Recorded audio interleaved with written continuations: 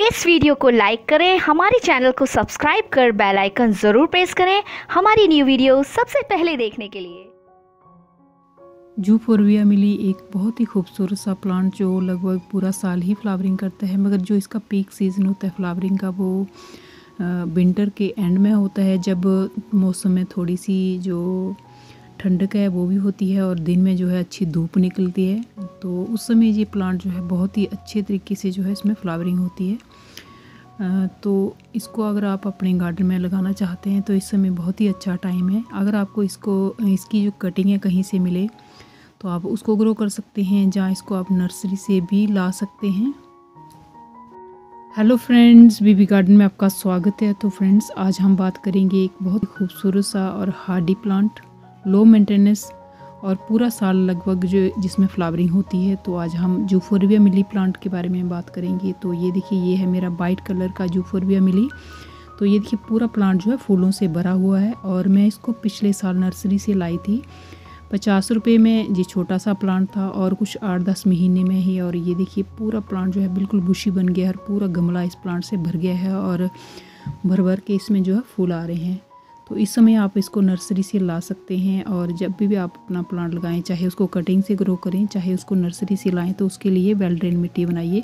तो ये देखिए मेरे गमले की मिट्टी जो है बिल्कुल वेल ड्रेन मैंने बनाई है और वेल ड्रेन मिट्टी बनाने के लिए आप जो है फिफ्टी परसेंट इसमें गार्डन सॉइल डाल सकते हैं और थर्टी परसेंट जा फोर्टी परसेंट जो है रेत डाल सकते हैं या जो ट्वेंटी परसेंट जो है इसमें कंपोज भी डाल सकते हैं।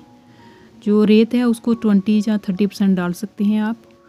तो उससे जो है रेत से मिट्टी बेलड्रेन बनती है और जो आप कंपोज डालेंगे तो उससे जो है प्लांट को अच्छी जो है जो पोषक तत्व मिलेंगे, जो प्लांट है वो अच्छे से ग्रो करेगा और इस तरीके से जो है फूल देगा आपको। और मैंने इस प्लांट को इस तरह की ही मिट्टी में लगाया हुआ है और ये देखिए किस तरीके का ये प्लांट जो है अच्छे से डेवलप हो गया हो गया है। और जैसे ही अभी मौसम में थोड़ी सी ठंडक भी है और दिन में अच्छी खासी धूप होती है और इस तरीके से इसमें जो है फ्लावरिंग हो हो रही है।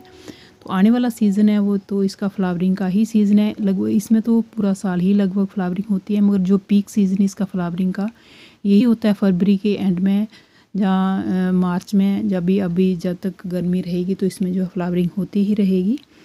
तो इस तरीके से आप इसको नर्सरी से ला सकते हैं, जहाँ कटिंग से ग्रो कर सकते हैं और जब भी लगाएँ तो बेल ड्रेन मिट्टी में लगाइए। तो जो आपका प्लांट है वो सदा आपके पास बना रहेगा।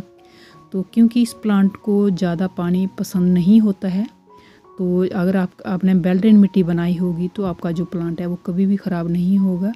क्योंकि पहले भी मेरे पास भी था इस तरह का प्लांट पहले तो मैं उसमें ज़्यादा पानी मेरे से पड़ गया और वो प्लांट मेरा ख़राब हो गया। फिर मैं इस तरह का एक और प्लांट जो है नर्सरी से लाई तो मैंने अब इसको वेल ड्रेन मिट्टी में ही ग्रो किया है और इसको मैं ज़्यादा पानी नहीं देती हूँ। जब मुझे लगता है कि इसकी मिट्टी बहुत ही सूख गई है तो तब मैं इसको पानी देती हूँ।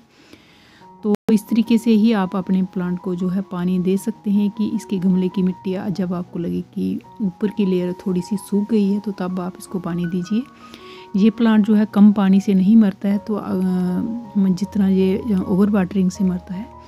तो इसको आपने कभी भी ओवर वाटर नहीं करना है, सिर्फ़ इतना ही पानी देना है कि इसकी मिट्टी जो है थोड़ी सी मॉइस्ट रहे, क्योंकि ये एक सेकुलेंट टाइप का प्लांट होता है, जिस तरीके से अडेनियम होता है या जो चंपा का प्लांट होता है, जब आप उसकी ब्रांच काटो तो उसके बीच से वाइट कलर का एक जो लिक्विड है, वो निकलता है। तो सेम इसका भी यही हिसाब है कि जब आप इसकी ब्रांच काटोगे तो इसके जो ब्रांच एक तो इसकी बहुत सॉफ्ट होती है, साथ में जब काटोगे इसकी ब्रांच तो उसमें से वाइट सा एक लिक्विड निकलता है। तो एक सिकुलेंट टाइप का प्लांट होता है तो इसको ज़्यादा पानी पसंद नहीं होता है। ज़्यादा पानी आप डालते रहोगे इसकी जो जड़ें हैं, नीचे से ही गलना स्टार्ट हो जाती हैं और पूरा प्लांट जो है एकदम से ही ख़राब हो जाता है।